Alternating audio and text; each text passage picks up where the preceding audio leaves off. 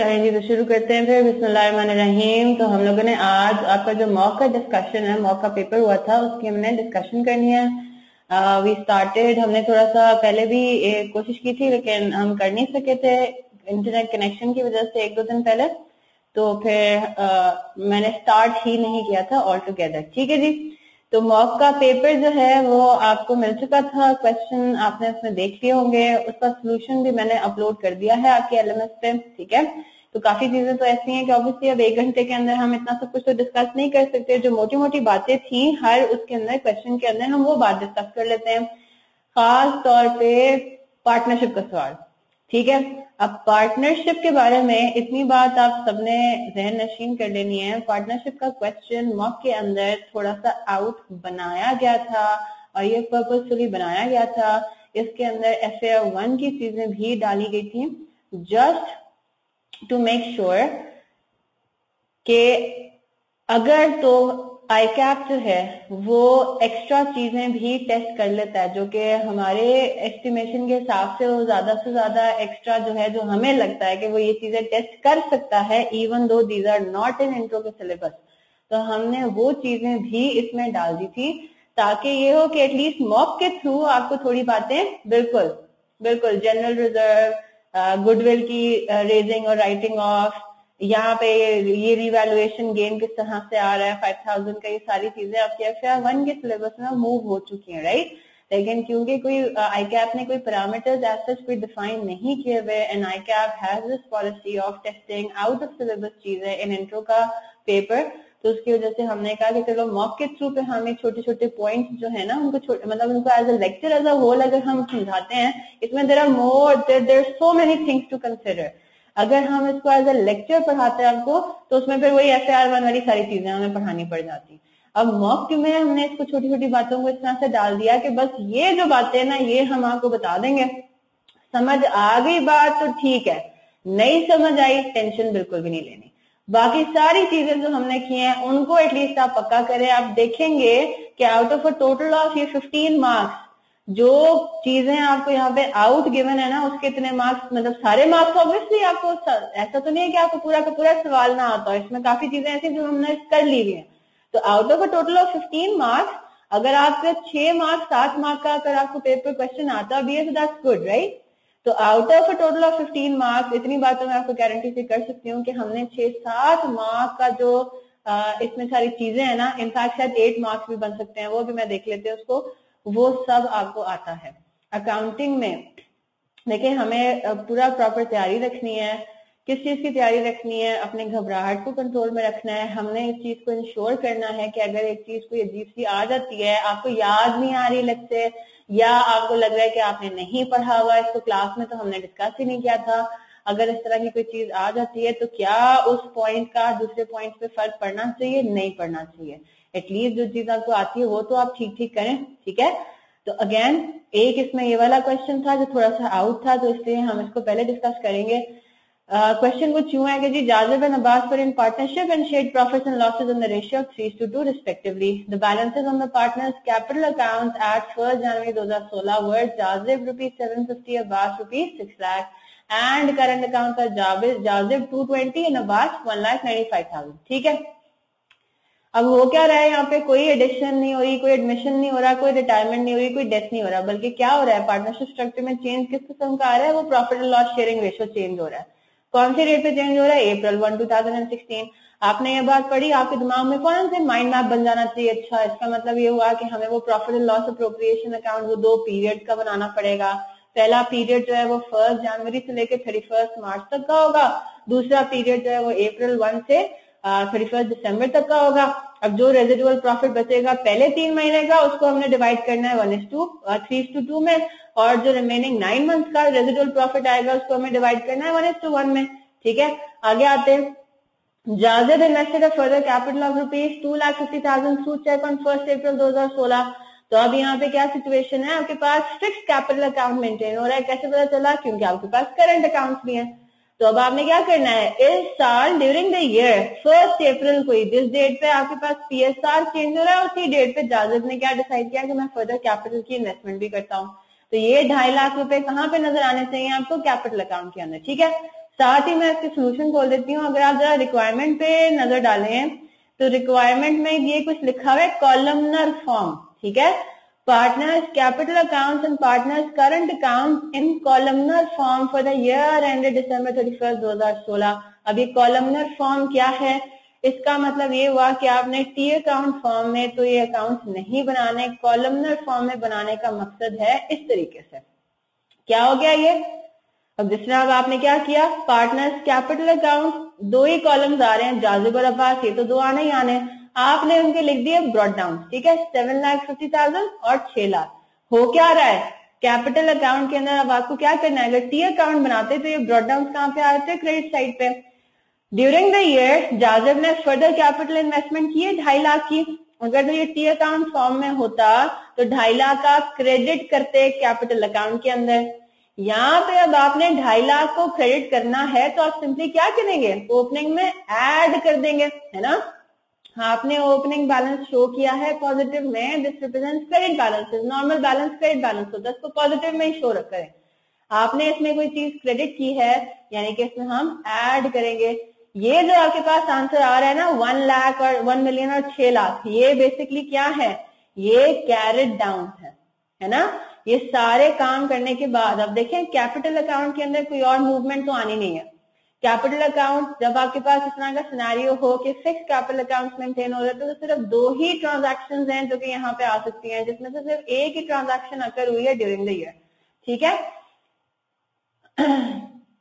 नहीं रीजन इसका ये नहीं है कि बिकॉज़ ये फिक्स कैपिटल अकाउंट है, इसलिए कॉलम बच्चे कॉलम फॉर्मेट तो प्रेजेंटेशन है। अगर आपका फ्लक्चुएटिंग कैपिटल अकाउंट भी तो वो भी कॉलमनर फॉर्मेट में बनाया जा सकता था। ऐसी बात थोड़ी है कॉलमनर फॉर्म में बनाना is the presentation T accounts के बजाय अब हम इसमें लिखा हुआ है कि आपने कॉलमनर फॉर्म में बनाना है।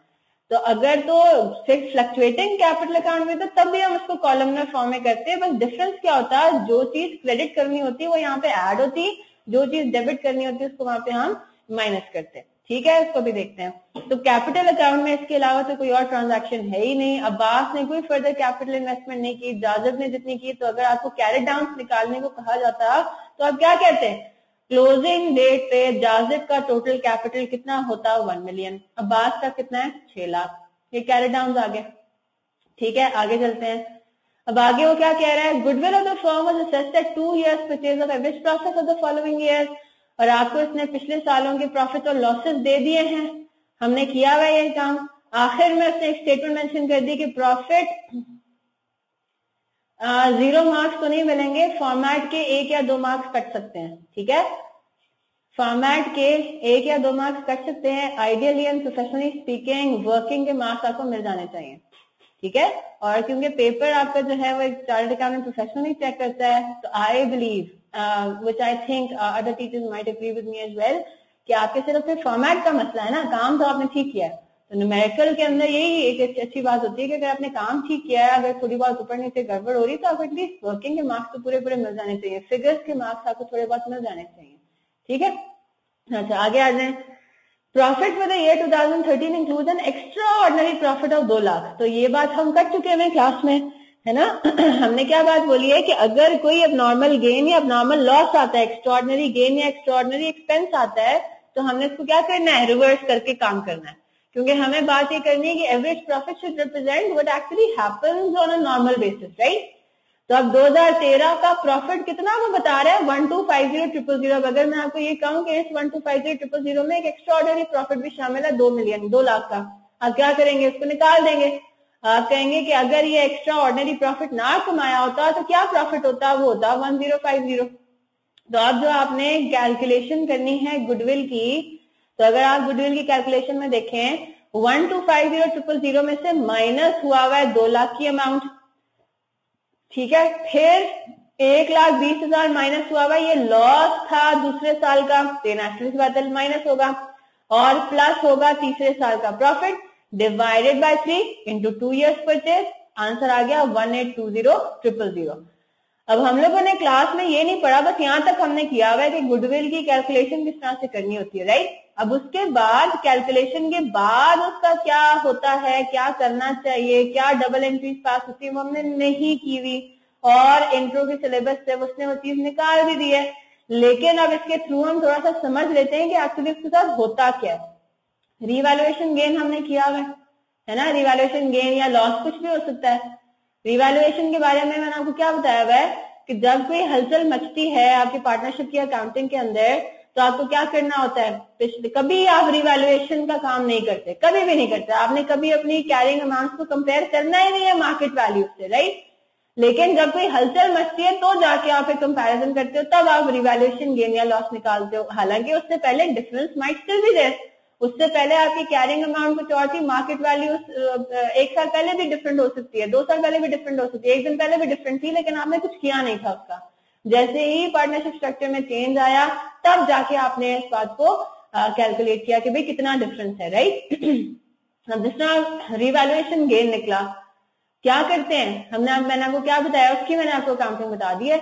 हम क्या करते हैं? उसको कहते हैं कि जी, आपके जो ओल्ड प्रॉफिट शेयरिंग रेशियो है आप उसमें उसको डिवाइड कर देते हो, यानी कि बेनिफिट दे देते हो अपने पार्टनर्स को कि आपकी मेहनत की वजह से हमारे एसेट्स की जो है वो वैल्यू फेयर वैल्यू जो है वो ज़्यादा है करंट कैरिंग वैल्यू कम है तो हम उसका आपको बेनिफिट दे देते हैं। अब गुडविल भी बेसिकली क्या है? पार्टनर्स की मेहनत की वजह से अच्छी रेपुटेशन डेवलप हुई, जिसकी वैल्यू हमने क्या डिटरमिन की? One eight two zero triple zero आज के दिन, यानी कि कौन से दिन हम ये बात करेंगे? चेंज इन पीएसआर वाले दिन चेंज इन पार्टनरशिप स्ट्रक्चर वाले दिन तो फ़र्स्ट अप्रैल 2016 को हम ये कहेंगे कि इससे पहले तो हमने गुड रेप्यूटेशन का कोई अकाउंटिंग की ही नहीं थी, हमने उसकी कभी उसको लिफ्ट नहीं कराई थी। आज के दिन हम लोगों ने उसकी कैलकुलेशन की। हालाँकि good reputation was there before as well है ना? गुड रेप्यूटेशन तो आपकी काफ़ी अच्छे से है, लेकिन उसके बारे में अकाउंटिंग उसकी हमने कभी नहीं की थी।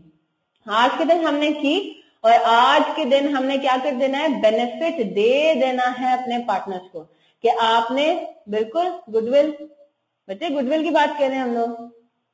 अभी हम गुडविल की बात कर रहे हैं। उसको मैंने लिंक किया है रिवैल्यूएशन गेन से और, या लॉस से कि जिस तरह हमने चेंज इन पार्टनरशिप स्ट्रक्चर वाले दिन रिवैल्यूएशन गेन या लॉस का बेनिफिट या लॉस जो है उनको डिस्ट्रीब्यूट कर दिया पार्टनर्स को ओल्ड प्रॉफिट शेयरिंग रेशियो में इसी तरह हमने गुडविल की कैलकुलेशन करनी है और हमने उसका बेनिफिट डिस्ट्रीब्यूट कर देना है पार्टनर्स के अकाउंट्स के अंदर करंट अकाउंट्स के अंदर in their old profit sharing ratio तो आपने क्या किया? ब्रॉड डाउन ये लिखे हुए हैं क्वेश्चन में गिवन है। कॉलमनर फॉर्म में कर रहे हैं सिर्फ़ फॉर्मेट का डिफरेंस है प्रेजेंटेशन का डिफरेंस है, वरना काम सब उसी में वही होगा। फिर आपने क्या किया? आपने इस दिन, यानी कि फ़र्स्ट अप्रैल 2016 को जो date of change in PSR है, उस दिन से आपने गुडविल टोटल निकाली वन ज़ीरो कितना? One eight two zero one eight two zero triple zero आपने गुडविल कैलकुलेट की और आपने ये कहा, आप देखिए आपके पास दो profit and loss sharing ratios हैं। एक आपके पास है थ्री बाय टू जो कि ओल्ड है, और दूसरा आपके पास है वन बाय वन जो कि न्यू है। ठीक है? हम ये कहेंगे कि हमारे जो पार्टनर्स हैं, उन्होंने पिछले सालों में किस रेट को, किस रेशो को फॉलो किया? थ्री बाई टू तो जो पिछले सालों की मेहनत की वजह से अच्छी रेपुटेशन बनी है, उसका बेनिफिट भी हम किस रेशो में डिवाइड करेंगे? थ्री बाई टू के रेशो में. यानी कि क्या हो गया? One eight two zero triple zero multiplied by three by five ये चला जाएगा किसको? जाजिब को. और one eight two zero triple zero multiplied by two by five, ये किसको चला जाएगा? अब्बास को। तो आपने क्या कर दिया? उनके करंट अकाउंट को कर देना है क्रेडिट, है ना? क्रेडिट कर देना है। ओपनिंग बैलेंसेस भी क्रेडिट थे। क्रेडिट में कोई चीज़ क्रेडिट होगी तो वो चीज़ हम ऐड करेंगे। यहाँ तक क्लियर है बात?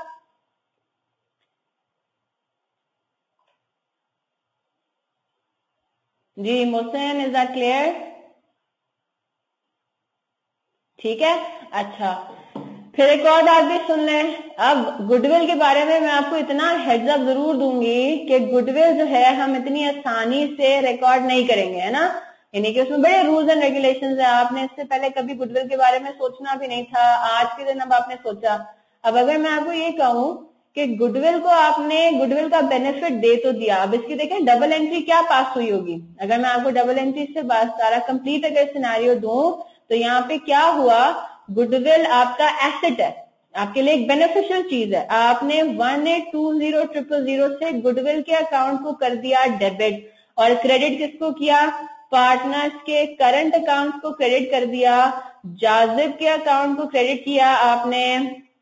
कितने से हमने किया था? One eight two zero triple zero multiplied by three by five और current account of Abbas Abbas को आपने क्रेडिट किया कितने से? टू बाई फाइव से। ठीक है, आपने ये डबल एंट्री अभी पास की है। ये जो हमने, मैंने सिर्फ़, अभी हमें सिर्फ़ करंट अकाउंट बनाना था ना। गुडविल का अकाउंट तो हमें बनाना नहीं होता। करंट अकाउंट वो मांग रहा था तो हमने करंट अकाउंट को क्रेडिट होते हुए दिखा दिया। अब आपने करना क्या है? बच्चे, मैं यही तो कह रही हूँ, नहीं पढ़ी हुई और पढ़नी भी नहीं है। लेकिन एटलीस्ट मॉक के थ्रू हम आपको थोड़ा सा कॉन्सेप्ट दे रहे हैं कि अगर खुदा ना खास्ता आ गया तो एटलीस्ट इसके थ्रू अब आप ये याद कर लो ना क्या प्रोसेस है इसका। कोई इसमें हार्ड एंड फास्ट रूल नहीं है। रिवैल्यूएशन गेन का मैंने आपको थोड़ा बहुत कॉन्सेप्ट दिया हुआ है, उसी से रिलेट करता है उसी से, उसी उसी की तरह का है। There is nothing there is nothing majorly new about it समझ में आ रहा है तो ठीक है, नहीं समझ में आ रहा है टेंशन नहीं दे, इस पर टाइम जाया मत करें। बाकी सारी चीज़ें अपनी पक्की करें। अल्लाह मालिक अल्लाह खैर करेगा। नहीं, इंशाल्लाह आना नहीं चाहिए ये आपके उसमें एग्ज़ाम में, ठीक है? करंट अकाउंट तो क्रेडिट हो रहा है ना, बिल्कुल हो रहा है क्रेडिट अब एक बार जरा गौर से सुने। आपने गुडविल को या इसको कहते हैं गुडविल को रेज करना। यानी कि गुडविल का आपने बेनिफिट अपने पार्टनर्स को दे दिया। आपने कहा कि जी, आपने इतनी मेहनत की है, उसकी वजह से जो गुड रेपुटेशन हमारी डेवलप हुई है, उसकी टोटल फिगर कितनी है? One eight two zero triple zero तो हम उसका बेनिफिट आपको दे रहे हैं ओल्ड प्रॉफिट शेयरिंग रेशियो में। ठीक है? ये काम आपने करना है, क्योंकि डिवाइड करना है ना हम इस फिगर को तो किस रेशियो में डिवाइड करें? ओल्ड प्रॉफिट शेयरिंग रेशियो में, यानी कि थ्री बाई टू अब आपने करना क्या है? फॉरन से ही गुडविल को राइट ऑफ़ भी कर देना है। यानी कि आपने गुडविल को डेबिट किया था। अब आप इस एंट्री को रिवर्स कर देंगे। कैसे रिवर्स करेंगे? अब इधर देख लें। गुडविल को आपने फॉरन से ही क्या कर देना है? क्रेडिट कर देना है। कितने से? पूरी अमाउंट से। तो आप एक सेकंड के लिए गुडविल को आपने अपनी बुक्स में रिकॉर्ड किया और दूसरे सेकंड ही उसको क्या कर दिया? क्रेडिट भी कर दिया, निकाल भी दिया। अब आपने क्या करना है? करंट अकाउंट को पहले क्रेडिट किया था रिवर्स करते हुए आप करंट अकाउंट को आपने डेबिट करना है, लेकिन अब सेम फिगर से डेबिट नहीं करेंगे। क्योंकि अगर हम सेम फिगर से डेबिट करते हैं एग्जैक्टली ऊपर वाली एंट्री को रिवर्स कर देते हैं तो फिर एंट्री पास करने का कोई फ़ायदा थोड़ी है। आपने अब गुडविल को राइट ऑफ़ करना है न्यू प्रॉफिट शेयरिंग रेशियो में। क्या मतलब हुआ? कि पहले तो आपने one one eight two zero triple zero को डिवाइड किया था थ्री बाई टू के रेशियो में। अब आपने इसको डिवाइड करना है वन इज़ टू वन के रेशियो में। न्यू प्रॉफिट शेयरिंग रेशियो कितना है? वन बाय वन तो आपने इसको वन बाय टू और वन बाय टू ठीक है? बात समझ आ रही है? तो अब थोड़ा बहुत तो इफ़ेक्ट पड़ेगा। थोड़ा बहुत इफ़ेक्ट आपने लेकर आना है। अब अगेन क्यों इस तरह से क्यों कर रहे हैं? ये पूरा का पूरा एफ़ वन का है, इसीलिए हमने पूरा नहीं पढ़ाना, पूरा आपने पढ़ना भी नहीं है। इतनी बात अगर समझ में आ गई, जो कि इतनी मतलब मुश्किल बात नहीं है। आपने गुडविल को रेस किया, आपने करंट अकाउंट को क्रेडिट किया, पहले ओल्ड प्रॉफिट शेयरिंग रेशियो में इस फिगर को आपने डिवाइड किया। और फिर आपने करंट अकाउंट को डेबिट कर देना है न्यू प्रॉफिट शेयरिंग रेशियो में उसी फिगर को डिवाइड करके। बस इतनी सी बात है। ठीक है? तो आपने क्रेडिट किया था, इसको यहाँ पे आपने ऐड कर दिया। अब अगर आप इसमें अब कोई चीज़, अब आपको क्या करनी है? वन एट टू ज़ीरो इन दोनों का टोटल करेंगे वन एट टू ज़ीरो निकलता है। अब आपने इस वन एट टू ज़ीरो को डेबिट भी करना है करंट अकाउंट में in new profit sharing ratio यानी कि नाइन टेन और नाइन टेन तो आपके पास, अब आप कॉलमनर फॉर्मेट में इसको किस तरह दिखाओगे? कोई चीज़ डेबिट होते हुए दिखा रहे हो बिल्कुल उसी तरह से जिस तरह हमने रिकन्सिलियेशन स्टेटमेंट नहीं बनाया था। कि अगर आपके पास क्रेडिटर्स का रिकन्सिलियेशन स्टेटमेंट है तो उसमें नॉर्मली चीज़ें क्रेडिट हो रही होती हैं। लेकिन अगर उसमें कोई चीज़ डेबिट आ जाएगी तो आप माइनस फॉर्म में दिखा दोगे। एग्जैक्टली exactly वही वाली चीज़ है। 220 क्रेडिट बैलेंस उसमें 1092 पहले क्रेडिट किया और फिर 910 डेबिट भी कर दिया। तो 910 माइनस होते हुए दिखा दिया। ये दोनों चीज़ें, ये दोनों फिगर्स वही one eight two zero triple zero का ही ब्रेकअप है।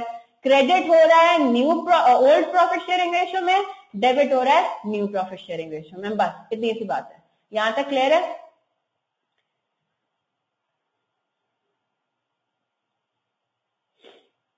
चले, आगे आते हैं फिर। Zajeb and Abbas continue to receive salaries of eighteen thousand and fifteen thousand per month बहुत आसान पार्ट था। एटलीस्ट ये वाला तो आप कर सकते थे आराम से। तो पूरे साल जाजिब को कितनी सैलरी मिली? अठारह हज़ार मल्टीप्लाइड बाई ट्वेल्व अब्बास को कितनी सैलरी मिली अक्रू हुई उसको कितनी? वन लाख एटी थाउज़ेंड यानी कि पंद्रह हज़ार मल्टीप्लाइड बाई ट्वेल्व यहाँ तक क्लियर है?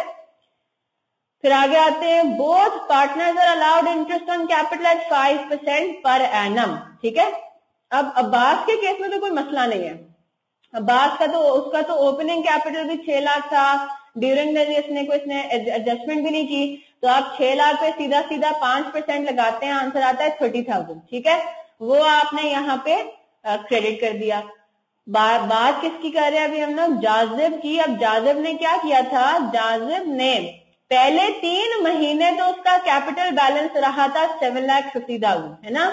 फिर उसने फ़र्स्ट अप्रैल को फर्दर कैपिटल इन्वेस्टमेंट भी कर दी राइट तो इसका क्या मतलब हुआ? पहले तीन महीनों के लिए seven lakh fifty thousand multiplied by five percent multiplied by three by twelve ये देखें, यहाँ पे मैंने वर्किंग भी की हुई है। कोलन से पहले जो वर्किंग हुई हुई है, ये वर्किंग हुई हुई है थर्टी फ़र्स्ट मार्च तक की। और कोलन के बाद जो वर्किंग हुई हुई है, ये हुई हुई है रिमेनिंग नाइन मंथ की। तो आपने जाजिब ने तीन महीनों तक, जाजिब का कैपिटल बैलेंस कितना रहा था? सेवन लाख फिफ्टी थाउज़ेंड तो सेवन फिफ्टी पे फाइव परसेंट उसके बाद थ्री बाई ट्वेल्व और जो रिमेनिंग नाइन मंथ थे, उसमें उसका बैलेंस कितना हो गया था कैपिटल का? क्योंकि उसने फ़र्स्ट अप्रैल को फर्दर कैपिटल इन्वेस्टमेंट कर दी। तो अगले नौ महीनों के लिए वन मिलियन पे उसको फाइव परसेंट मिलता रहा और उसको भी हमने नेचुरली सी बात है प्रोपोर्शनेट करना है नाइन बाई ट्वेल्व तो जब आप पूरे साल की कैलकुलेशन करते हैं तो वो आपके पास फिगर आती है। इन दोनों को ऐड करने के बाद four six eight seven five ठीक है? तो ये भी four six eight seven five आपने यहाँ पे क्रेडिट कर दिया, यानी कि ऐड होता हुआ दिखा दिया। यहाँ तक क्लियर है? अब आगे आते हैं। फ़र्स्ट अप्रैल 2016 पे वो क्या कह रहा है? One one of the motor vehicle और partnership business having a carrying value of rupees thirty thousand have been taken over by Zajib at agreed price of thirty five thousand अब यहाँ पे देखें रिवैल्यूएशन गेन या loss क्या चीज़ होती है? Business के नज़दीक उस एसेट की वैल्यू कुछ और थी, है ना? और मार्केट के नज़दीक यानी कि फेयर वैल्यू उसकी कुछ और थी। अब यहाँ पे भी क्या हो रहा है? यहाँ पे भी सिमिलर सिचुएशन हो रही है। बिज़नेस के नज़दीक उस मोटर व्हीकल की वैल्यू कितनी थी? थर्टी थाउज़ेंड की थी। लेकिन जाजिब ने जब वो मोटर व्हीकल ली तो उसने क्या बात बोली? मेरे नज़दीक इसकी वैल्यू कितनी है? Thirty five thousand I getting my point तो पाँच हज़ार यहाँ पे क्या सिचुएशन हो गई? Five thousand is your revaluation gain कि कैरिंग अमाउंट उसकी थर्टी थाउज़ेंड थी अग्रीड अमाउंट अब उसने टेक ओवर कर लिया ना, अब यहाँ पे हम डिस्पोज ऑफ़ तो नहीं कर रहे यहाँ पे हम एसेट को मार्केट से कंपेयर नहीं कर रहे हाँ लेकिन कोई दूसरी पार्टी ज़रूर इन्वॉल्व हो रही है। एक तो बिज़नेस है और एक ओनर आ गया। ओनर कह रहा है कि ठीक है बिज़नेस के नज़दीक इसकी वैल्यू होगी तीस हज़ार, लेकिन मैं इसको टेक ओवर कर रहा हूँ एट थर्टी फाइव थाउज़ेंड तो पहली चीज़ तो ये होगी ये होगी ड्रॉइंग बच्चे रिवैल्यूएशन वैसे जो आई एस सिक्सटीन वाली फिक्स एसेट वाली रिवैल्यूएशन है, वो आपके इंट्रो में नहीं है। तो अक्यूमुलेटेड डेप्रिसिएशन में क्या करना है उसका? वो आपके इंट्रो में है ही नहीं, वो तो एक अलग ही चीज़ है। यहाँ पे तो पार्टनरशिप के केस में revaluation change in partnership structure के केस में रिवैल्यूएशन बिल्कुल सिंपल तरीके का आपको उसमें कुछ नहीं कंसिडर करना। ठीक है? उसमें आपको आपको नेटबुक वैल्यू ही गिवन होगी। उसमें एक्यूमुलेटेड डेप्रिसिएशन का क्या करेंगे? कॉस्ट का अलग से क्या करेंगे? कुछ आपको वो नहीं करना। That is not of your concern आपने सिर्फ़ वैल्यू को इंक्रीज या डिक्रीज करना है बस। ठीक है? तो अब आपने क्या करना है? आपने ये कहना है कि जो आपका एसेट टेक ओवर अब देखो ये ड्रॉइंग्स हैं। ये ड्राइंग है। जाजिब आपका टेक ओवर कर रहा है मोटर व्हीकल को तो पहले चीज़ तो ये कि आपने ड्राइंग को डेबिट करना है ना। करंट अकाउंट में डेबिट भी तो करना है ड्राइंग को। अब सवाल ये आता है कि ड्राइंग को किस फिगर पे दिखाएँ? थर्टी फाइव पे या थर्टी पे? तो हमें अग्रीड प्राइस पे दिखाना है। भले ये कम हो, भले ज़्यादा हो। ठीक है? तो हमने क्या कर दिया? थर्टी फाइव थाउज़ेंड से हमने ड्रॉइंग दिखा दी मोटर व्हीकल की। हमने यहाँ पे डेबिट कर दिया, यानी कि माइनस साइन में दिखा देंगे। फिर बारी आती है रिवैल्यूएशन गेन की। अब यहाँ पे गेन ऑन डिस्पोजल है। ये थोड़ा सा मिसलीडिंग हो जाएगा। मोहसिन नॉन करंट एसेट भी तो विड्रॉ हो सकता है। ओनर ड्रॉइंग कर नहीं सकता। नहीं नहीं नहीं ओरिजिनल थोड़ी। ओरिजिनल तो मैंने आपको क्या बोला हुआ है क्लास में? मैंने आपको ये बोला हुआ है कि अगर ड्रॉइंग के केस में ओरिजिनल कैपिटल में से ड्रॉइंग हो रही होगी तो वो मेंशन करेगा। जहाँ पे कुछ मेंशन नहीं होता, वो हम कहते हैं ड्रॉइंग करंट अकाउंट वाली ड्रॉइंग है। तो करंट अकाउंट में शो करेंगे ना। ठीक है? बाय डिफ़ॉल्ट ड्रॉइंग सारी की सारी वो वाली होंगी जो करंट अकाउंट में आनी है। अगर कैपिटल अकाउंट वाली ड्राइंग होगी तो वो मेंशन करेगा। इस पे इंटरेस्ट नहीं है। इंटरेस्ट का इसमें सिनारियो ही नहीं है ना। क्वेश्चन में कहीं लिखा हुआ है कि interest on drawing this charge है इतना? नहीं तो आप नहीं करोगे चार्ज सिर्फ़ इंटरेस्ट ऑन कैपिटल है. अब रिवैल्यूएशन गेन कितने का आया इसमें फाइव थाउज़ेंड का रिवैल्यूएशन गेन आया कि आपके बिज़नेस के नज़दीक इसकी वैल्यू थी थर्टी थाउज़ेंड और आपके पार्टनर के नज़दीक इसकी वैल्यू थी थर्टी फाइव थाउज़ेंड पाँच हज़ार की आपकी मतलब ज़्यादा आपने वैल्यू करनी है तो फाइव थाउज़ेंड का आपने रिवैल्यूएशन गेन भी बुक करना है. करंट अकाउंट में किसमें शो करेंगे उसको? Old profit and loss sharing ratio में हमने इसको डिवाइड कर दिया। न्यू प्रॉफिट शेयरिंग रेशियो सिर्फ़ यूज़ होगा राइट ऑफ़ के केस में बस। ठीक है? तो गेन आपने बुक किया किस किस किस रेशियो में? ओल्ड प्रॉफिट शेयरिंग रेशियो यानी कि थ्री बाई टू ठीक है? अब बारी आती है किसकी? अच्छा अब जैन की जो बारी है, इसको हम, इसका, इसकी बारी आएगी बाद में।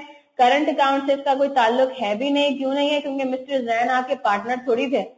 राइट मिस्टर जैन तो आपके मैनेजर थे, उनका तो किस्सा होगा ये प्रॉफिट से रिलेटेड ताल्लुक है।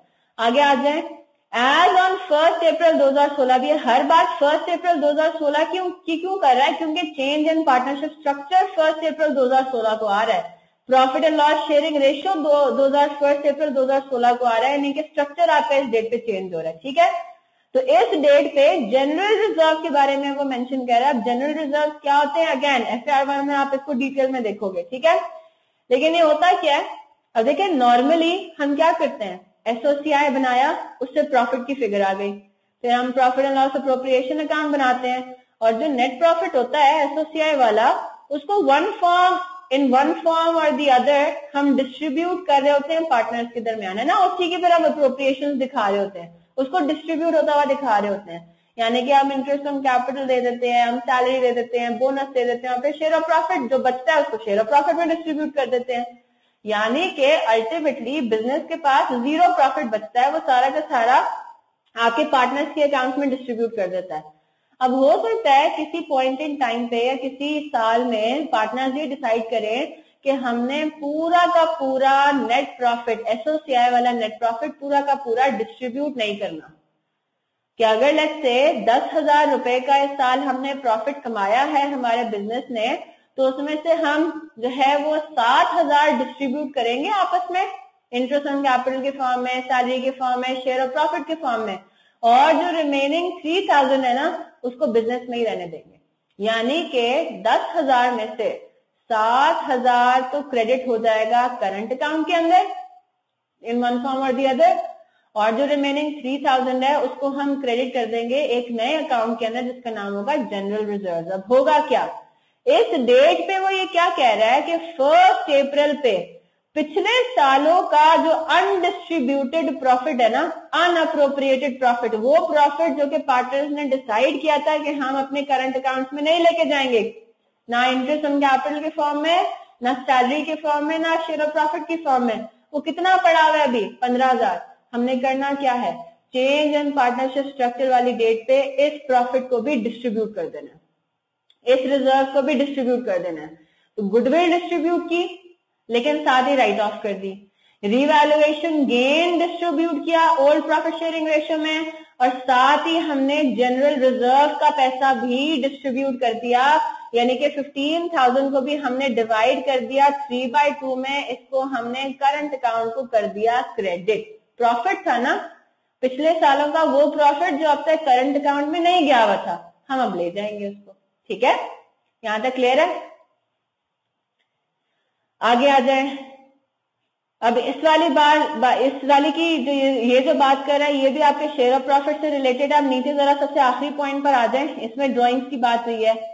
In addition to salaries, partners withdrew the following amounts in cash. तो इसका मतलब ये हुआ कि पार्टनर्स ने ये फिगर्स तो कैश में विड्रॉ की ही की हैं इसके साथ साथ उन्होंने अपनी सैलरीज भी विड्रॉ कर ली है ना? ये लिखा हुआ है।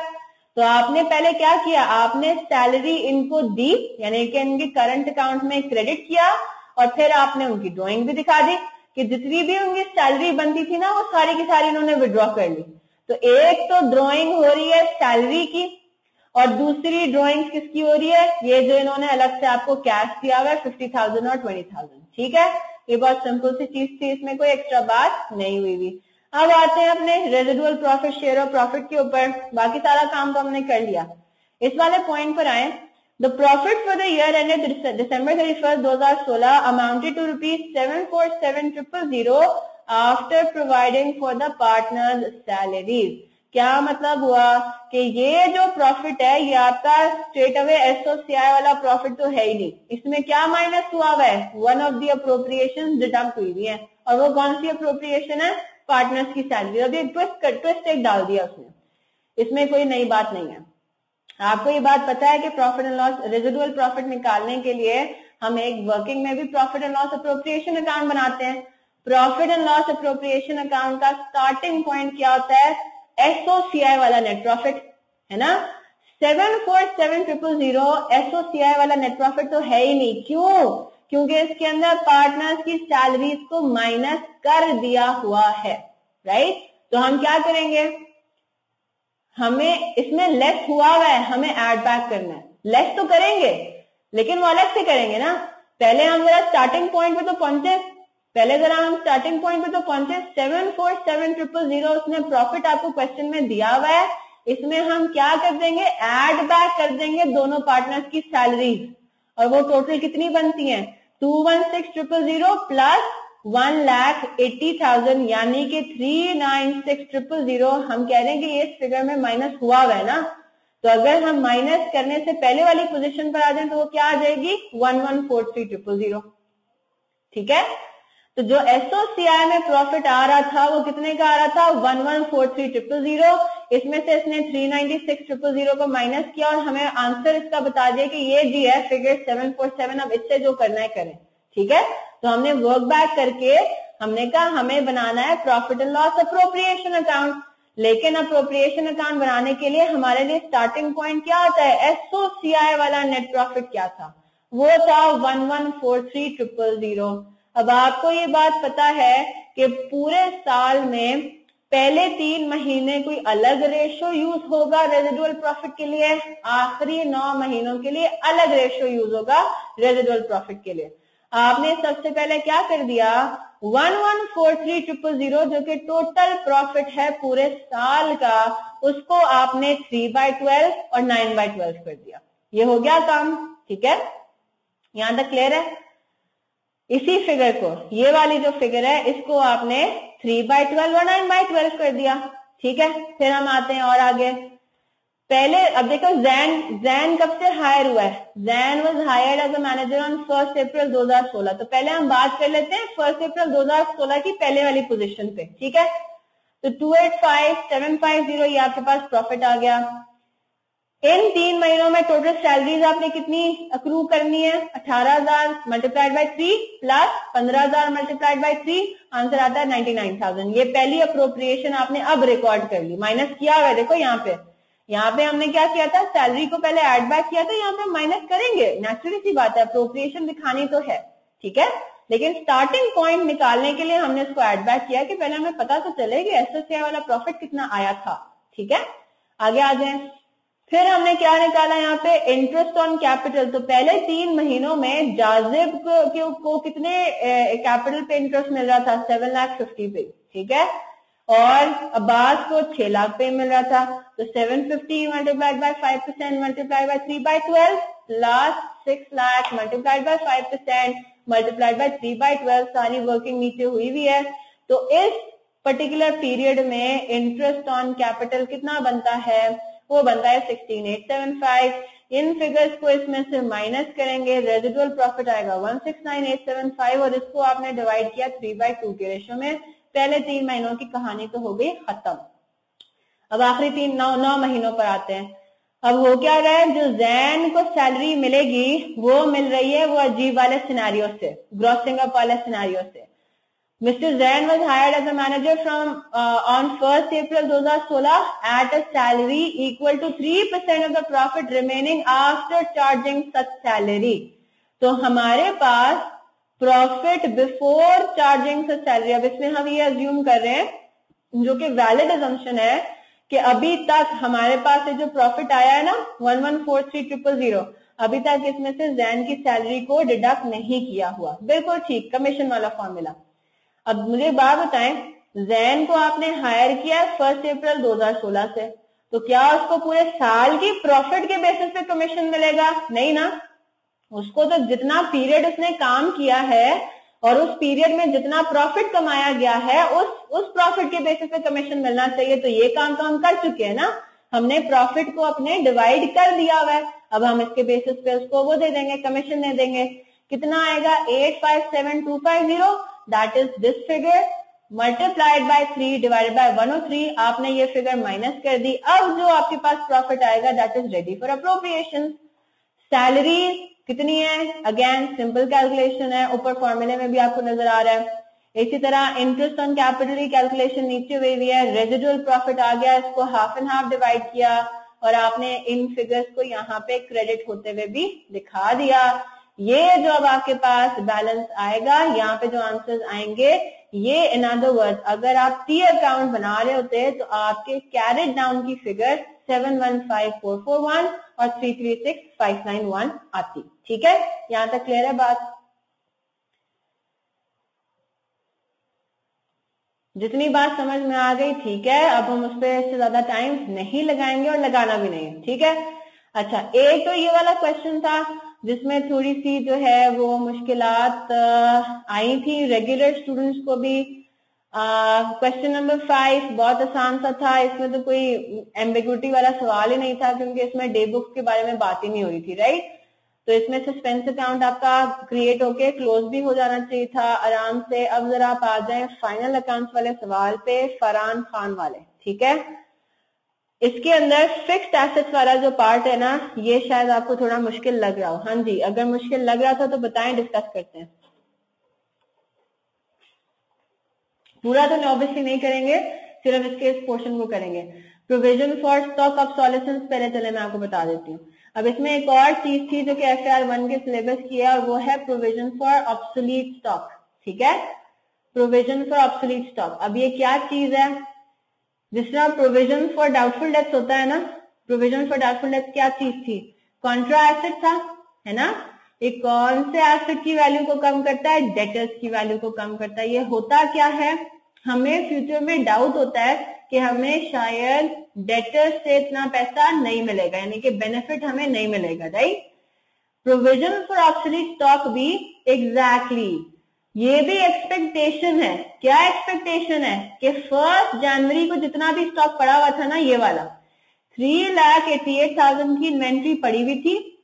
हमने इस इन्वेंट्री के अगेंस्ट ये बात बोल दी कि हमें ये लग रहा है कि इस इन्वेंट्री में से 44,000 का स्टॉक डिस्ट्रॉय हो जाएगा बिकने से पहले। सही है? तो ये भी आपका क्या है? कॉन्ट्रा एसेट की तरह का ही है। आपने जिस तरह जहाँ जहाँ आप डेटर्स की फिगर लिखते हो फाइनेंशियल स्टेटमेंट्स में आप क्या करते हो? Debtors minus provision for doubtful debt इसी तरह जहाँ जहाँ आपने स्टॉक की फिगर लिखनी है ना उसमें से आपने उससे रिलेटेड प्रोविज़न की फिगर को माइनस करके लिखना है बस दैट्स इट ठीक है? तो अब आपके पास एसओसीआई में आए एसओसीआई में आप ओपनिंग स्टॉक लिखते हो। अब यहाँ पे आ, मैंने बाद में ये चीज़ नोट की थी यहाँ पे थोड़ा टाइपिंग का एरर हुआ हुआ है। कैलकुलेशन बिल्कुल ठीक हुई हुई है, उसमें कोई टेंशन वाली बात नहीं है। इस सोल्यूशन के अंदर यहाँ पे माइनस ट्वेंटी फोर थाउज़ेंड लिखा हुआ है, इसको फोर्टी फोर थाउज़ेंड होना चाहिए। यहाँ पे थ्री फोर्टी फोर फिगर बिल्कुल ठीक है, लेकिन यहाँ पे वर्किंग में थोड़ी सी एम्बिग्विटी है, ठीक है? इसको आप अपने पास ठीक कर लें। क्या हुआ? एसओसीआई के अंदर आप ओपनिंग स्टॉक लिखते हो। ओपनिंग स्टॉक की ग्रॉस अमाउंट कितनी है? Three eighty eight triple zero three eighty eight triple zero उसमें से आपने क्या माइनस कर देना है? ओपनिंग डेट पे प्रोविज़न क्या था? आपने ओपनिंग डेट पे जो स्टॉक था, उसमें से आपने ओपनिंग प्रोविज़न को माइनस करके फिर ओपनिंग स्टॉक की फिगर लिख दी। Three double four triple zero इसी तरह क्लोजिंग स्टॉक के ऊपर जब हम आते हैं तो क्लोजिंग स्टॉक के बारे में एक तो वो कह रहा है कि एक एरर हो गया। मोहसिन बच्चे stock in trade in an alternate term इसमें कंफ्यूजन वाली कौन सी बात है? ट्रायल बैलेंस में सिर्फ़ अगर इन्वेंट्री लिखा हुआ है तो आपको पता है कि इन्वेंट्री ट्रायल बैलेंस में जो आती है, वो ओपनिंग इन्वेंट्री होती है। इसमें कंफ्यूजिंग वाली कौन सी बात हो गई? तो बच्चे इन ट्रांजिट नहीं है ये इन ट्रेड है। स्टॉक इन ट्रेड यानी कि जिसमें आप ट्रेडिंग करते हो, वो आइटम जिसकी आप ट्रेडिंग करते हो। ट्रांजिट थोड़ी लिखा हुआ है इसमें। इन ट्रांजिट का मतलब है कि रस्ते में होना। ट्रेड है ये तो। नहीं नहीं नहीं कंफ्यूज थोड़ी होना है ये तो। क्या, ऐसी तो ऑल्टरनेट टर्म है ये। Stock in trade inventory same cheese. Transit होता है रस्ते वाला। वो आप कंफ्यूज कर गए। Insurance in transit something else transit का मतलब है रास्ता ट्रेड का मतलब है जिसमें आप डील करते हो। ठीक है? अब यहाँ पर आए। अब यहाँ पे ना इतफाक से एक एरर हुआ हुआ है और वो क्या एरर हुआ हुआ है? उसने आपको ये बता दिया कि जो क्लोजिंग इन्वेंट्री है, उसकी वैल्यू कितनी है? थ्री लाख फिफ्टी थाउज़ेंड कहा लिखा हुआ है? ये रहा। Cost of stock at thirty December 2016 amounted to three lakh sixty five thousand net realisable value the stock was 350 तो आपने इन दोनों में से लोअर सेलेक्ट किया और 350 को कहा कि ये हमारी क्लोजिंग स्टॉक है। ऊपर जब आप पढ़ते हैं तो आपको एक एरर नज़र आया कि आपने, आपको एक क्रेडिट सेल्स रिटर्न हो गई थी, ठीक है? एक तो उसकी आपने डबल एंट्री नहीं पास किया, यानी कि सेल्स रिटर्न डेबिट और डेटर क्रेडिट किया ही नहीं। कितने का? सेवेंटी थाउज़ेंड का। साथ ही आपको उसने ये एरर भी बता दिया कि जो गुड्स जो रिटर्न हुए थे ना, उनकी कॉस्ट थी फोर्टी सेवन थाउज़ेंड और the stock is not included in the cost of closing stock यानी कि ये जो फिगर थी आपकी three lakh sixty five thousand या ये प्रोविज़न की फिगर जो आपने सेलेक्ट की थी कि अब ये क्लोजिंग स्टॉक की फिगर आ गई, इस अमाउंट के अंदर फोर्टी सेवन थाउज़ेंड की सेल्स जो रिटर्न हुई थी, वो वाली इन्वेंट्री शामिल हुई है। ठीक है? तो आपने क्या करना है? थ्री अगर ये बात मेंशन ना हुई होती ना, अगर ये बात मेंशन ना हुई होती, हम क्या कहते क्लोजिंग स्टॉक की फिगर कितनी है? Three lakh fifty thousand.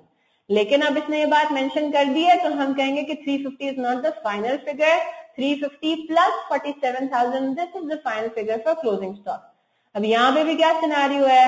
आपके पास क्लोजिंग प्रोविज़न भी मौजूद है है ना? लिखा हुआ है provision for obsolete stock is to be created at 47,000 तो पहले तो आपने इतनी बात कंफर्म कर ली कि पहले हम ग्रॉस अमाउंट ऑफ़ इन्वेंट्री को फिक्स कर लें। वो सही फिगर आ गई three lakh ninety seven thousand three fifty पता थी? फोर्टी सेवन थाउज़ेंड उसमें ऐड किया। इतनी बात क्लियर है? तो इन्वेंट्री की अमाउंट कितनी आ गई? Three lakh ninety seven thousand. तो जिस तरह हमने ओपनिंग इन्वेंट्री में से ओपनिंग प्रोविज़न माइनस किया था इसी तरह क्लोजिंग इन्वेंट्री की फिगर में से भी हमें क्लोजिंग इन्वेंट्री को क्लोजिंग प्रोविज़न को माइनस करना है। ये जो 47,000 ऐड हुआ है ये वो एरर की रेक्टिफिकेशन है सेल्स रिटर्न वाली। कि आपने इन्वेंट्री आपको रिटर्न हो गई थी, लेकिन आपने उसको इन्वेंट्री की वैल्यू में शामिल नहीं किया तो अब हम कर देंगे। तो अगर हमने ये एरर ना किया होता तो हमारे क्लोजिंग स्टॉक की अमाउंट कितनी आ रही होती? Three lakh ninety seven thousand three lakh ninety seven thousand में से अब आपने क्या माइनस करना है? Closing provision for obsolete stock और वो फिगर आपने लिख देनी है यहाँ पे। ठीक है? यहाँ तक क्लियर है? वैसे जल्दी से अब ये पॉइंट रिवाइज इसको डिस्कस करते हैं। फिर आगे वो क्या कह रहा है? Fix assets are depreciated at ten percent per annum using reducing balance method depreciation on addition is provided from the month in which the asset is acquired well no depreciation is charge in the month in which the asset is dispose of On 1st July 2016, a generator which was purchased on 1st January 2013 for rupees one lakh, यानी कि ये पुराने generator की cost है, ठीक है? It was traded in for a new generator the disposal was not recorded यानी कि अकाउंटिंग इसकी हमने इस तरह से कर दी कि जो पुराना जनरेटर आपने आपने पुराना जनरेटर एक्सचेंज किया ना, आपके पास से पुराना जनरेटर गया। आपने पुराने जनरेटर के जाने के एजाज में कोई एंट्रीज पास नहीं की। यानी कि उसकी कॉस्ट को क्रेडिट नहीं किया, उसके एक्यूमुलेटेड डेप्रिसिएशन को डेबिट ही नहीं किया। रिवर्स करना होता है ना, सारी चीज़ों को बुक से निकालना होता है राइट तो आपने पुराने जनरेटर से रिलेटेड कोई डबल एंट्रीज पास ही नहीं की। लेकिन आपने आगे क्या कर दिया? And the generator was capitalise at पाँच लाख। और नए जनरेटर ऑब्वियसली कौन सा जनरेटर कैपिटलाइज किया? नया वाला जनरेटर जो नया वाला जनरेटर आपने आता हुआ दिखाया, और कितने पे दिखाया? फाइव लाख आपने कैपिटलाइज किया। अब देखते हैं कि फाइव लाख क्या थी? कॉस्ट ऑफ़ न्यू जनरेटर थी भी या नहीं? आगे वो कह रहा है फाइव लाख क्या था? At rupees five lakh being the net amount paid to supplier after adjusting trade and allowance of thirty तो पाँच lakh was just the amount of cash paid आप लोगों को मैंने फॉर्मूला करवाया हुआ इसका। कॉस्ट ऑफ़ न्यू एसेट क्या होता है? Trade and allowance plus cash paid इसमें इसने क्या कर दिया? सिर्फ़ कैश पेड की फिगर को देखा और ये फिगर इसने कैपिटलाइज कर दी। कैपिटलाइज करना कितने पे चाहिए था? नया जनरेटर की कॉस्ट कितनी है? Five lakh thirty five thousand यहाँ तक बात क्लियर है? तो आपने क्या किया है? पाँच लाख की हद तक तो आपने कैपिटलाइज कर दिया। थर्टी फाइव थाउज़ेंड को भी कैपिटलाइज करना था। आपने वो नहीं किया। आगे देखते हैं। Cost of installation of the generator amounting to rupees 30,000 was debited to office and administration expenses. इसका क्या मतलब हुआ? हमने पूरी लिस्ट पढ़ी थी। उसमें इंस्टॉलेशन कॉस्ट को भी प्लांट सॉरी जनरेटर की कॉस्ट का पार्ट बनाना चाहिए था. इन अदर वर्ड नया जनरेटर की कॉस्ट टोटल कितनी थी? Five lakh sixty five thousand five lakh plus thirty five thousand plus thirty thousand installation charges हमने जनरेटर को कैपिटलाइज कितने पे किया है? पाँच लाख पे. करना कितने पे चाहिए था? Five lakh sixty five thousand पे. तो हमने सिक्सटी फाइव थाउज़ेंड से जनरेटर को अंडर कैपिटलाइज किया हुआ है। तो अब हम क्या कर देंगे? देखें, यहाँ पे जो ट्रायल बैलेंस में आपको फिगर दी हुई है फिक्स एसेट की कॉस्ट की, इसका मतलब ये हुआ, इस one seven five zero triple zero में सिर्फ़ पाँच लाख की अमाउंट ऐड हुई हुई है। हमें क्या करनी है? सिक्सटी फाइव थाउज़ेंड की फर्दर ऐड कर देनी है, ठीक करने के लिए इस एरर को। यहाँ तक क्लियर है सब बात? साथ ही one seven five zero triple zero क्या हुआ था? पुराने जनरेटर की डिस्पोजल तो दिखाई नहीं थी। अगर दिखाई होती तो हमने वन लाख जो कि पुराने जनरेटर की कॉस्ट थी, हमने वन लाख को क्रेडिट साइड पे दिखाना था। हमने नहीं दिखाया, हमने डिस्पोजल तो रिकॉर्ड ही नहीं किया। हमने ऐसे ट्रीटमेंट की जिसमें हमने सिर्फ़ एक नया एसेट खरीदा है, बस। ठीक है? और उसके बदले पाँच लाख की पेमेंट की है। डबल एंट्री क्या पास कर दी हमने? बैंक क्रेडिट पाँच लाख और जनरेटर क्रेडिट डेबिट यानी कि फिक्स एसेट आपने डेबिट किया पाँच लाख से बैंक को क्रेडिट कर दिया। हालाँकि आपको पता है, पता लग गया कि डिफरेंट अमाउंट से डेबिट होना चाहिए सब फिक्स एसेट के अकाउंट को ठीक है? और आपने पुराने जनरेटर की कॉस्ट को माइनस होते हुए नहीं दिखाया। अब आपने फिक्स कर लिया इसको, आपने अब दिखा दिया। अब जो आपके पास कैरेट डाउन आएगा one seven one five triple zero वो आपका बिल्कुल ठीक होगा, ठीक है? इसमें नया जनरेटर भी सही फिगर पे आ गया और पुराना जनरेटर की भी आपकी बुक से निकल गया। अब आते हैं जरा नीचे।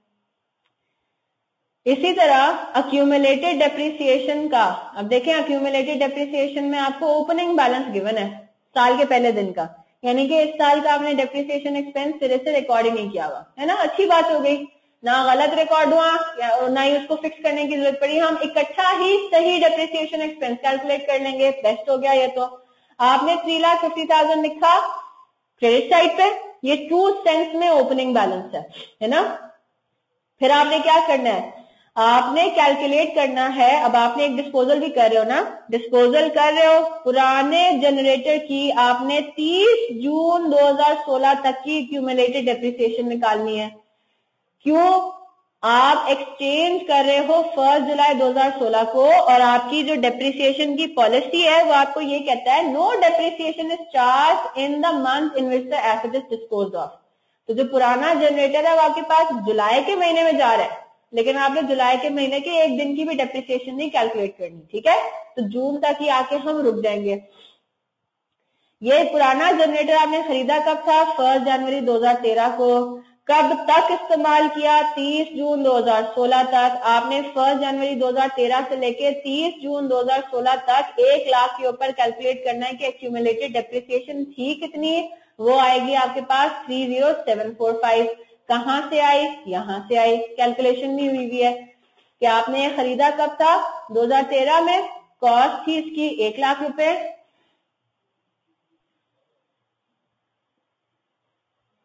नहीं नहीं नहीं नहीं नहीं। अगर ट्रायल बैलेंस में एक्यूमुलेटेड डेप्रिसिएशन का अकाउंट ना हो, लेकिन डेप्रिसिएशन एक्सपेंस फिर भी आएगा नेचुरली सी बात है, इसका मतलब है हम सिंगल अकाउंट मेथड फॉलो कर रहे हैं। इसका मतलब ये कि हम अलग से कोई एक्यूमुलेटेड डेप्रिसिएशन का अकाउंट नहीं बना रहे, और पिछले सालों की जितनी भी एक्यूमुलेटेड डेप्रिसिएशन थी ना, उसको हमने कॉस्ट में से ही कॉस्ट के अकाउंट में ही एडजस्ट किया हुआ है। यानी कि अब कॉस्ट का अकाउंट अलग और एक्यूमुलेटेड डेप्रिसिएशन का अलग नहीं है सिंगल अकाउंट है उस फिक्स एसेट के लिए और वो है डब्ल्यू डीबी पे। ठीक है? और अगर इस साल की डेप्रिसिएशन एक्सपेंस ट्रायल बैलेंस में आ रही है, इसका मतलब है कि हमने अब दोबारा से कैलकुलेट करके दोबारा से उसको क्रेडिट नहीं करना। ठीक है? सारा काम ऑटोमेटिकली हुआ हुआ है, हमें एडिशनल कुछ भी नहीं करना। हाँ अगर वो डेप्रिसिएशन एक्सपेंस इस साल का गलत कैलकुलेट हुआ है, उसमें अगर कुछ एरर्स है, बस वो फिक्स करने हैं, बस। और कुछ नहीं करना। यानी कि उसको फ्रॉम द स्क्रैच सारा काम नहीं करना, सिर्फ़ एरर्स की फिक्सिंग करनी है, बस। ठीक है? अगर डेप्रिसिएशन एक्सपेंस नहीं है, ठीक है? तो हम कहेंगे कि हमें फ्रॉम द स्क्रैच इस पूरे साल का कैलकुलेट करना है। ठीक है? अच्छा। तो ये वाली वर्किंग आई होप समझ में आ गई होगी, ठीक है? कि आपने वन लाख का इसको शुरू किया था। फॉर द ईयर 2013 में डेप्रिसिएशन कितना आया? 10 परसेंट साल के पहले दिन, आपका अकाउंटिंग ईयर है जनवरी टू दिसंबर तो 2013 में ये पूरा एसेट जो है, ये पूरे साल इस्तेमाल हुआ। वन लाख के ऊपर टेन परसेंट डेप्रिसिएशन हुआ अक्यूमुलेटेड डेप्रिसिएशन भी टेन थाउज़ेंड है। तो इस साल के आखिरी दिन कैरिंग वैल्यू कितनी हो गई? नेटबुक वैल्यू कितनी हो गई? नाइन्टी थाउज़ेंड अगले साल क्या होगा? नाइन्टी थाउज़ेंड पे टेन परसेंट डेप्रिसिएशन चार्ज होगा। अक्यूमुलेटेड डेप्रिसिएशन अब आपका नाइनटीन थाउज़ेंड बन गया। तो इस डेट तक three zero seven four five तक की आप, चाहें तो इन सबको ऐड कर दें आंसर यही आएगा। Three zero seven four five ठीक है? तो अब आपने क्या करना है? सही अकाउंटिंग करनी है इसकी। Three zero seven four five को आपने यहाँ पे क्रेडिट कर दिया। Depreciation expense for the year पर आ जाए जल्दी से। ठीक है? अब हमने क्या करना है? अब आपको पता है कि जी डेप्रिसिएशन एक्सपेंस आपने तीन कैटेगरीज के अलग अलग कैलकुलेट करने हैं। डिस्पोजल और एडिशन पे कैलकुलेट करना सबसे आसान है, पहले वो करना है। नया जनरेटर आया, उसकी कॉस्ट अब सही करना है ना? आपने डेप्रिसिएशन एक्सपेंस कैलकुलेट किया हुआ ही नहीं था। अब जब आप कैलकुलेट करेंगे तो आप सही फिगर्स पे कैलकुलेट करेंगे ऑल टुगेदर राइट आप ये कहेंगे कि हमारे पास एसेट आया था, उसकी सही कॉस्ट थी कितनी? 565 इसी के ऊपर डेप्रिसिएशन एक्सपेंस चार्ज होना चाहिए। 10% percent into six by twelve तो जो नया जनरेटर आ रहा है एक्सचेंज के थ्रू उसके ऊपर डेप्रिसिएशन एक्सपेंस छह महीने, जुलाई, अगस्त, सितंबर, अक्टूबर, नवंबर, दिसंबर, ठीक है? फ़र्स्ट जुलाई को वो आ रहा है तो जुलाई से लेके दिसंबर तक की डेप्रिसिएशन इस पे चार्ज कर दी। फिर जो पुराना जनरेटर था, वो भी आपने छह महीने ही इस्तेमाल किया था, लेकिन जनवरी से जून राइट उसकी ओपनिंग अक्यूमुलेटेड डेप्रिसिएशन कितनी थी, उसके लिए पहले आप निकालेंगे। जी, आपने ओपनिंग अक्यूमुलेटेड डेप्रिसिएशन निकाली। ओपनिंग नेटबुक वैल्यू चाहिए बेसिकली आपको। कॉस्ट उसकी थी एक लाख रुपए। इस साल के पहले दिन तक कितना एक्यूमुलेटेड डेप्रिसिएशन था? 27,100 ये अगेन आपने कैलकुलेशन कर ली थी। पिछले तीन सालों की आपने टोटल कर ली डेप्रिसिएशन कितनी आई? 27,100 आपने कहा इस साल के पहले दिन इसकी कितनी थी नेटबुक वैल्यू कॉस्ट में से माइनस करेंगे। Multiplied by ten percent multiplied by six by twelve यहाँ तक क्लियर है?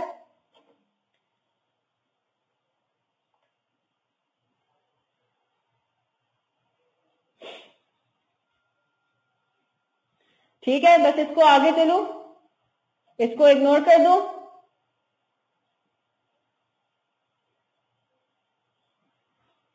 ठीक है, चले, ये हो गया। आगे कौन सा क्वेश्चन कह रहे हो आप? क्वेश्चन नंबर टू में पॉइंट सेवन अच्छा। क्वेश्चन नंबर टू का point seven five six seven A refund of to a credit customer then was made through check of 2979. This payment was correctly recorded in cash book and in Zen's individual account यानी कि इसमें subsidiary laser आपका बिल्कुल ठीक है double entry क्या पास होनी चाहिए थी इसकी बैंक क्रेडिट और customers credit debtors control account debit है ना आप रिफंड कर रहे हो मोहसिन बच्चे रिफंड वाली सिचुएशन हमने पढ़ी भी है। आपके कोई, आपका कोई डेटर था, अब आपने देखो, बच्चे देखो, इसमें आपने क्वेश्चन नहीं करना कि यहाँ पे क्रेडिट कस्टमर आ गया क्रेडिट कस्टमर ने तो हमसे उधार पे लिया होगा रिफंड का क्या सिचुएशन है, उसने हमसे, ठीक है, वो उधार पे, वो ऐसा बंदा है जो हमसे उधार पे चीज़ें खरीदता है। हुआ क्या होगा? हो सकता है उसने हमें किसी पॉइंट इन टाइम पे एक्सेस पेमेंट कर दियो बस, उसके अब हम उसको रिफंड कर रहे हैं। आपने क्वेश्चन के लॉजिक पे नहीं जाना। जो बात बोली हुई है, उसी को फॉलो करना है। आप जैन को कोई रिफंड कर रहे थे, बस। उसकी डबल एंट्री क्या पास होनी चाहिए थी? नहीं नहीं नहीं नहीं नहीं।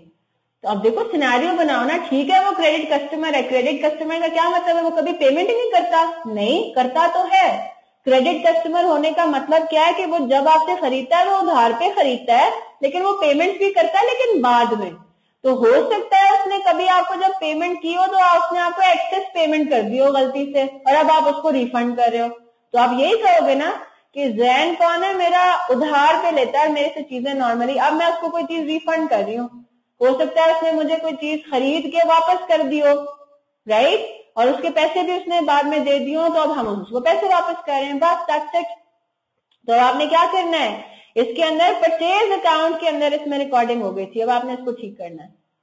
एसेट की written down value is the net book value मैंने आपको शायद इसके टर्म्स बताए हुए हैं carrying amount written down value net book value is the same thing cost minus accumulated depreciation ठीक है? और चलें जल्दी से और पूछें।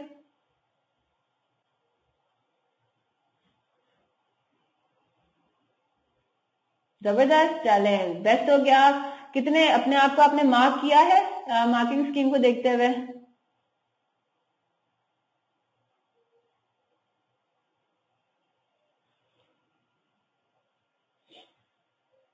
अभी करोगे? चलो ठीक है मुझे ज़रूर आपने शेयर करना है ठीक है? आ, मतलब अगर खुदा ना खासा मार्क्स अच्छे भी नहीं आए फिर भी मुझे बता देना ठीक है? ताकि हम पे डिस्कस कर लेंगे कहाँ पे इश्यूज़ आ रहे हैं क्या मसला है और बस आई होप सारा बिल्कुल ठीक ठाक जा रहा होगा। सब ठीक ठाक जा रहा है। तैयारी पक्की है? बाकी सारे सब्जेक्ट की भी?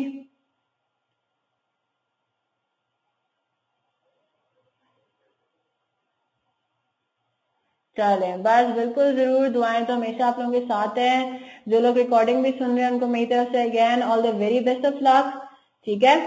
तो बस अभी तो थोड़ा, थोड़े टाइम ही रह गया सही है it's going to be over soon इंशाल्लाह and I hope it's going to be over forever मतलब इंट्रो एटलीस्ट और बाकी सब्जेक्ट आपको दोबारा कभी ना पढ़ने पड़े। ठीक है जी?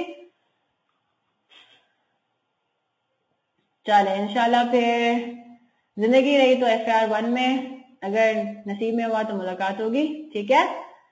ओके फिर। अल्लाह हाफिज।